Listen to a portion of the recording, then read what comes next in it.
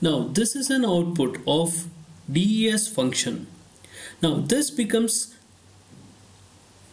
this becomes an input for an XOR with L1 and then the output is the one which we are looking for.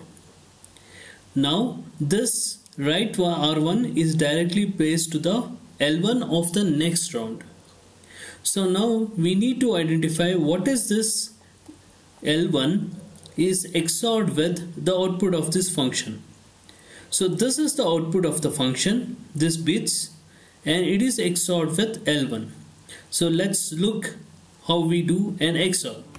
The output of the function is what we have calculated and L0 is represented in bits and it is XORed with to form an output.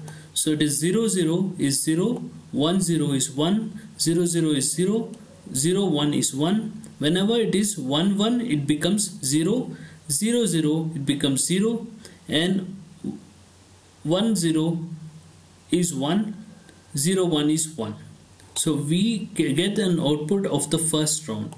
So that is 5A 7, 8, E394. So that is what we have calculated here.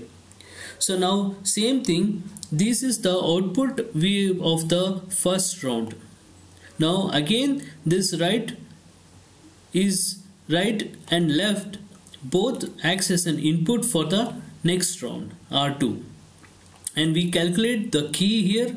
And again the key is XORed with the R0 and then we play uh, uh, R0 and L0 and then we give an input to the next round. So that is how we calculated the ciphertext